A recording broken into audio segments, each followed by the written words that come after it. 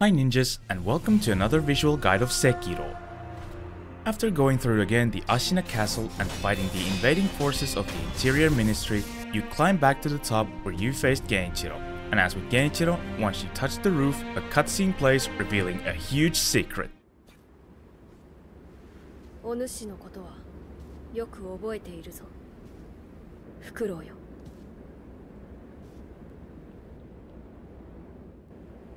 さあ我と共に参りましょうぞ。この袋は巫女様の尊いその恩知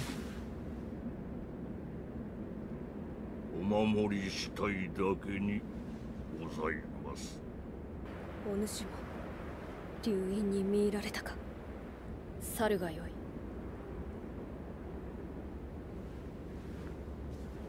As the owl has finished speaking, you can approach him and talk with him. But before you do, do note one important thing. If you pick the choice we go through in this video, you cannot upgrade your healing guard anymore after this in this playthrough, and I will tell you soon why, so just keep that in mind and go give Emma your gourd seeds now. You can find Emma at Isshin's quarters.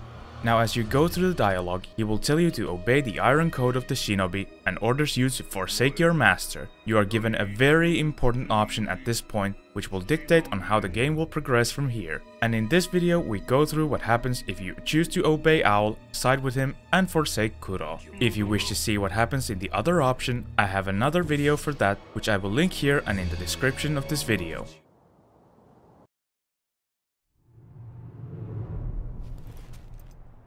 それでこそわしのせがれよ。これで我が波動もこれはこれは物騒なお客人じゃ。狼よそなたに任す。見事打ち破ってみせよ。脅威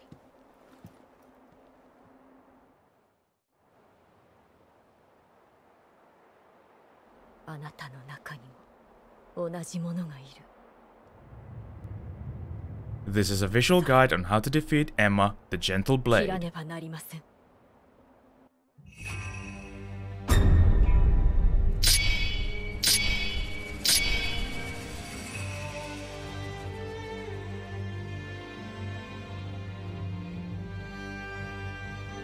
Even though Emma has been kind and smiling throughout the whole playthrough up until this point, she is an immensely deadly adversary, so do not at any point underestimate her at all.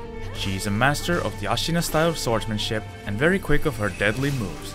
First up, we'll go through her basic attacks.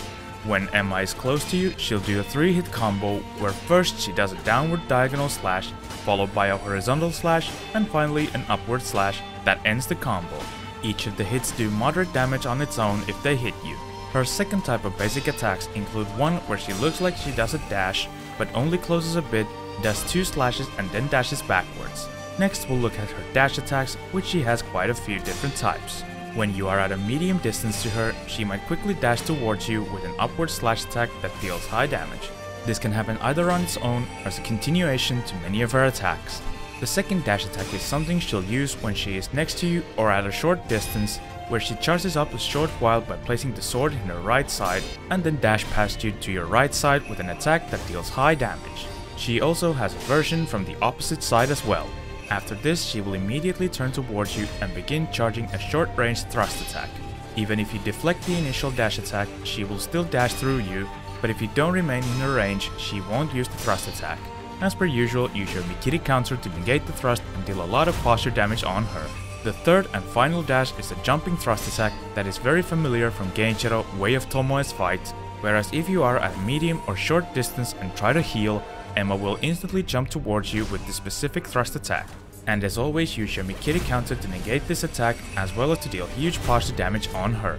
If you deflect this thrust, Emma will instantly try to use a perilous sweep attack as a follow-up. Whenever you see Emma sheath her sword and hold it in front of her, she will prepare to use the Ashina cross attack that is an Iaijutsu attack mostly remembered from the Ashina elite Jinsuke Saze. This does two hits that deal high damage or almost a full health bar worth of damage. If you block the Ashina cross, it does moderate damage in the form of chip damage as it goes through your guard. Deflecting this negates the damage, however you can easily avoid it by going behind her. She can either use the Ashina Cross just on its own without any prompt or follow-up, but also as a follow-up to many attacks. When Emma charges up an attack by having her sword and scabbard at her left side, she soon launches a strong 4 attack combo where each attack deals moderate damage and depending on how you react to the last hit makes a difference. If you take the hit, the combo simply ends. If you block the attack, she pushes you to the side and goes behind you as your lock-on breaks and charges up Ashina Cross immediately but if you manage to deflect her final attack, you instead push her to the side, leaving her vulnerable for an attack. In addition to her numerous thrust attacks, Emma also has other types of perilous attacks.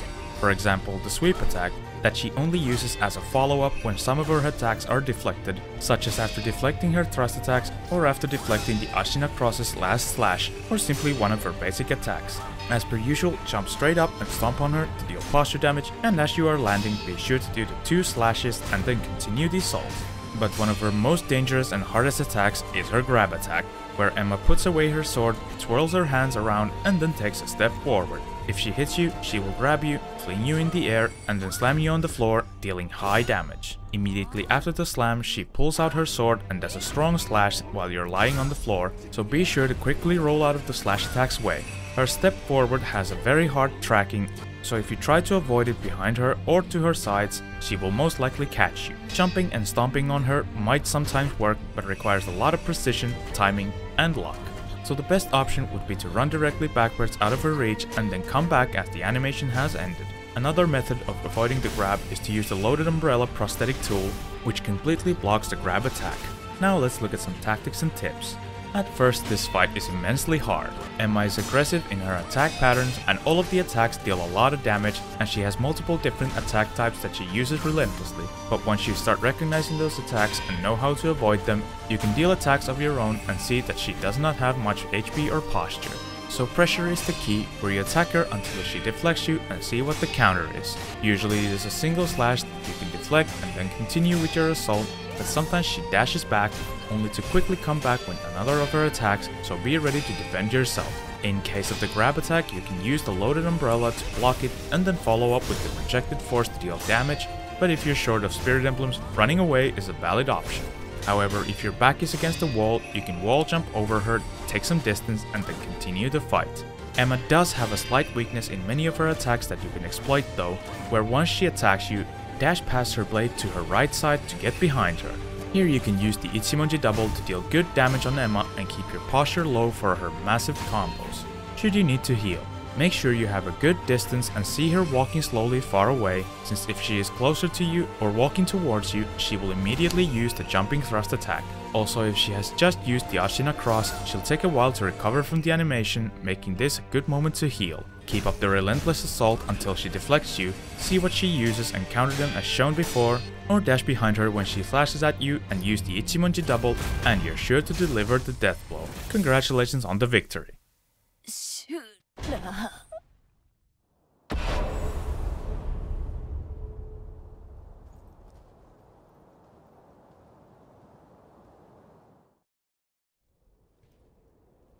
But if you thought that was it, guess again.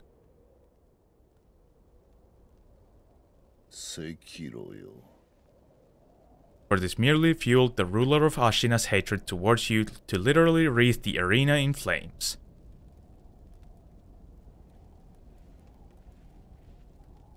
お主愛想はまるでないが不思議と憎めぬやつじゃった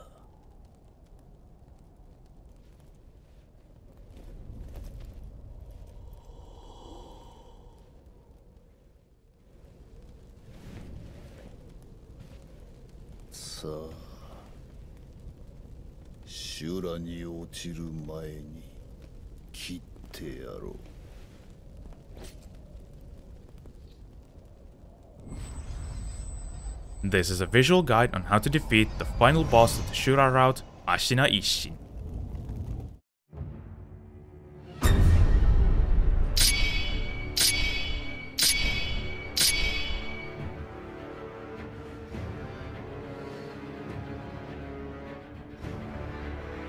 Isshin isn't the fear ruler of Ashina, whose skill with the blade earned Ashina's independence for no reason. And even though he is old, frail and ill, he is still stronger, faster, and has cunning beyond almost everyone in the game. Luckily for you, Isshin has a really similar moveset as Emma with a slightly different and adjusted tempo, so the moveset is easier to explain and learn. Isshin's basic attacks includes a similar dash attack that Emma uses, but this attack has a clearer telegraph when he leans towards you. Also his dash has a longer distance than Emma's, so be wary of that. He also has a simple 3-hit combo that is identical to Emma's basic 3-hit combo, which he uses when he is close to you. He first does a downward swing, waits a bit, then does a horizontal swing, waits again a bit, and finally does an upward swing. The combo continues if you receive or block the hits, but deflecting it ends the combo. Deflecting anywhere within the combo makes him quickly switch to different attack types, which we will go through soon. His second type of basic attack is one where he starts to circle to your right side while raising his sword into the front and then doing an upward slash, and after that he spins around and does a horizontal slash from your right side. Both of these slashes deal moderate damage. Another very similar type of attack is where he casually without a sidestep raises his sword to his left side and does a calm horizontal slash. Deflecting simply ends the combo, but blocking makes him immediately use a perilous thrust attack. As per usual, your Mikiri counter to deal a huge posture damage. His other dash is also identical to Emma's, where he raises his sword to his side and then dashes past you, slashing horizontally. Usually after this, he takes his long step diagonally back in front of you, but sometimes he stays there having his sword pointed at you for 2 seconds. If during this time you come close to him, he will instantly use the Ichimonji on you.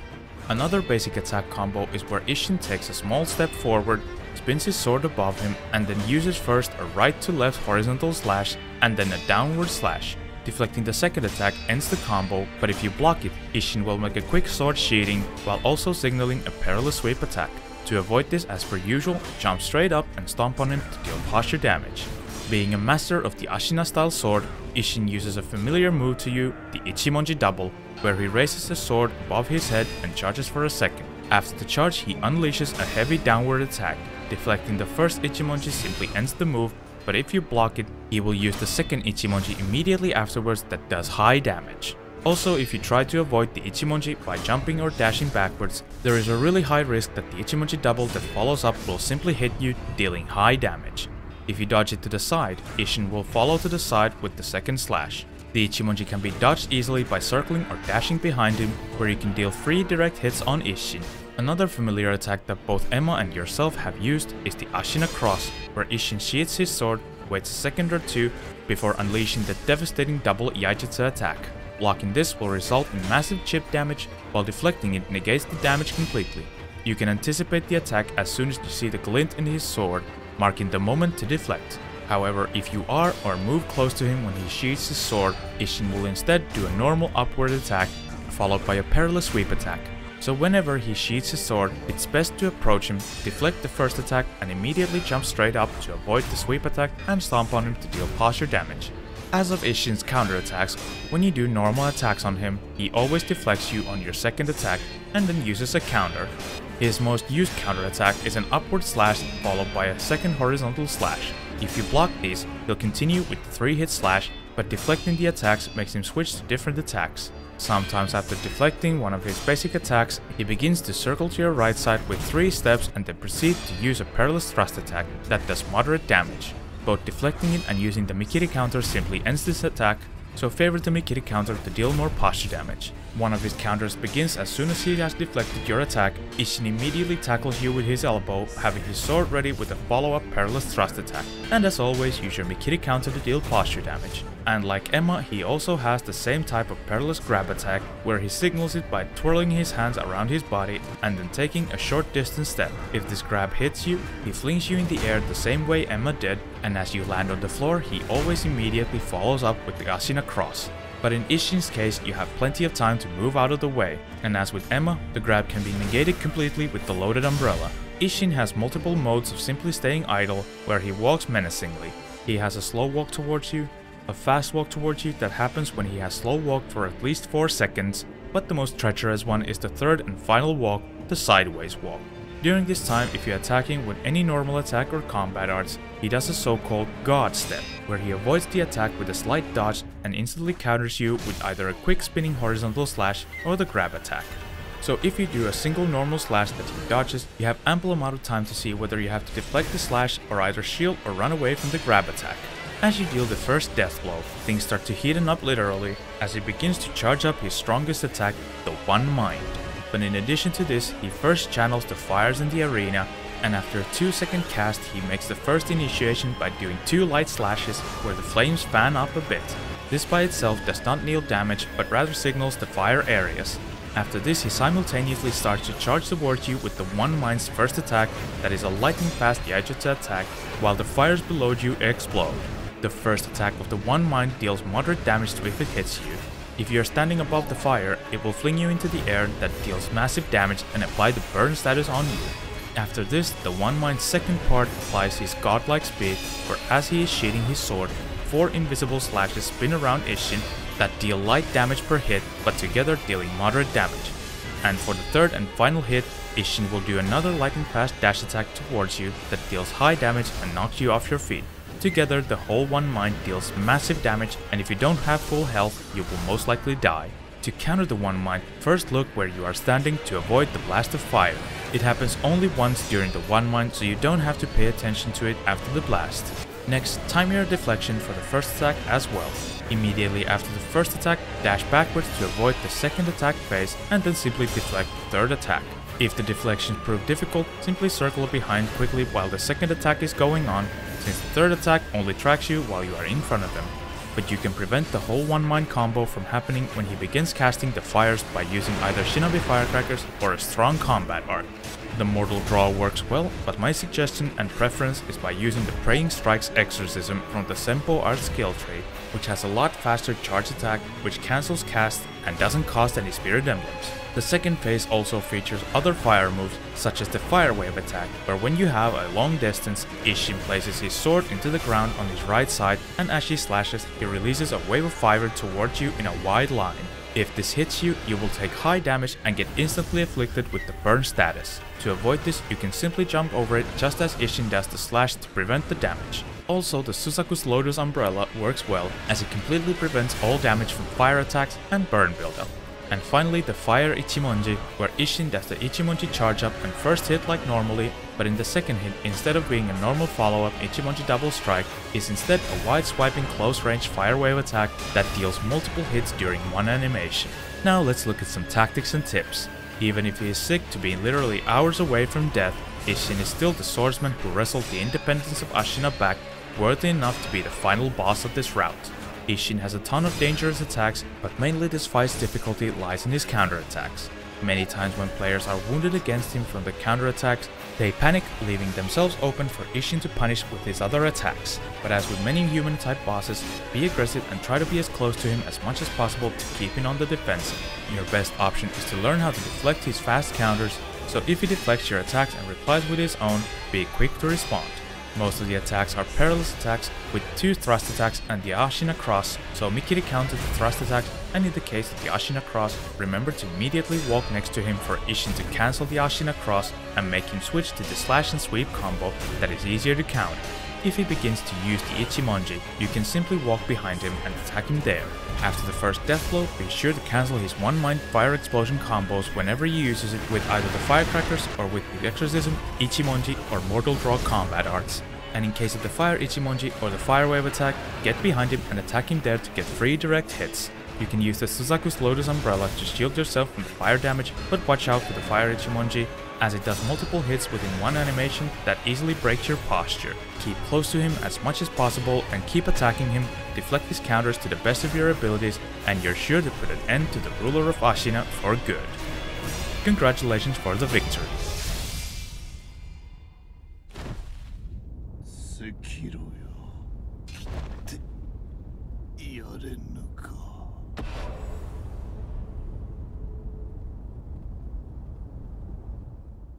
You are rewarded with the battle memory of Isshin and the one mind combat art. which works just like in the fight against Isshin, where you first sheath your sword by pressing L1 and R1 at the same time. If you release the L1, you simply take your sword out from your sheath, but if you instead release your R1, you launch the first attack. As the first phase is over, the second attack with the 4 lightning fast hits initiates, and finally after the second attack, pressing R1 again will let you execute the final attack of the combo. This costs spirit emblems to use, so be mindful of that. And now I will show you an example run on how to defeat both bosses of the Shura ending along with possible mistakes and how to recover from them. First is a normal run.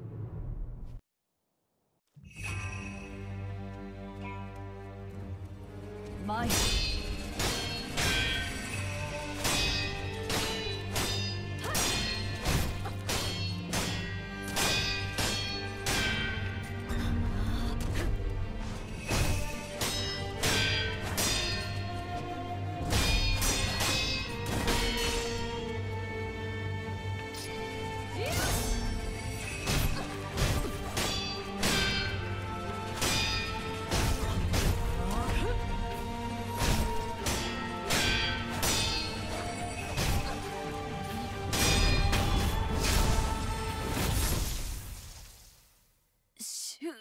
再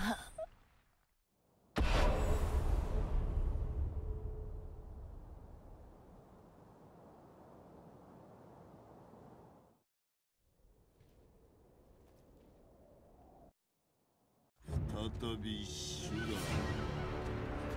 だ。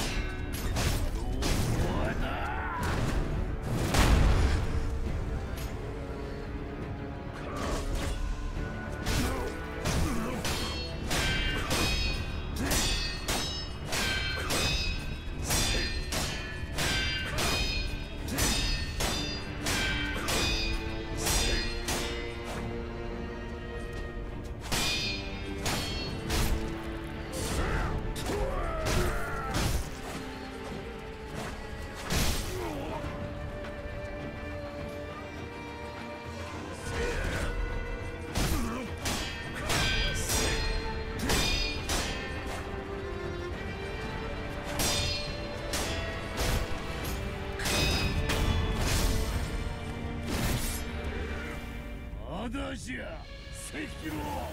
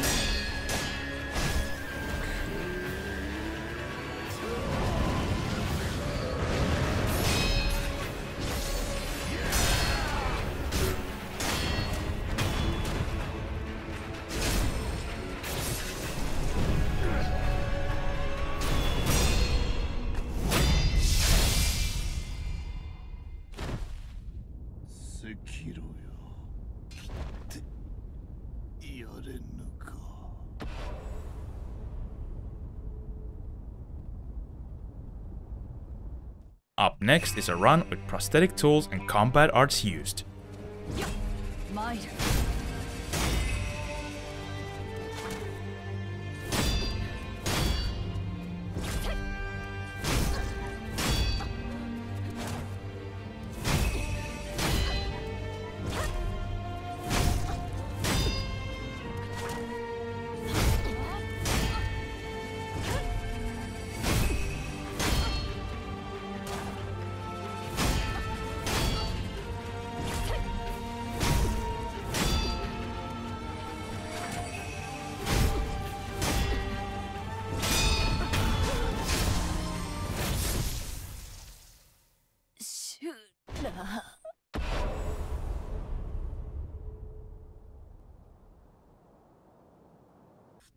び修羅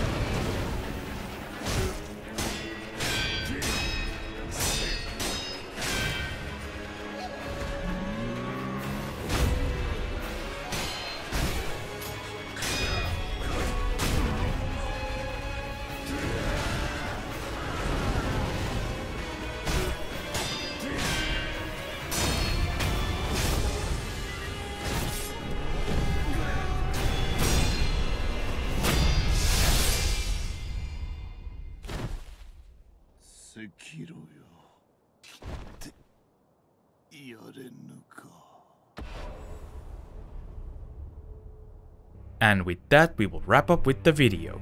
You have now beaten the game and gotten the short ending that is known as the Shura ending, which is the so-called worst ending, so enjoy the ending cutscene. Also afterwards you are awarded with the Sekijo attire and the Divine Air Gauntlet. If you want to see how to get the other endings and what happens if you select a different option when speaking with Owl, I will link these videos in the description below.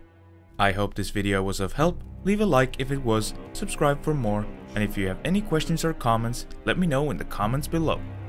Thanks for watching, stay vigilant, and I'll see you next time! Fight, fight, fight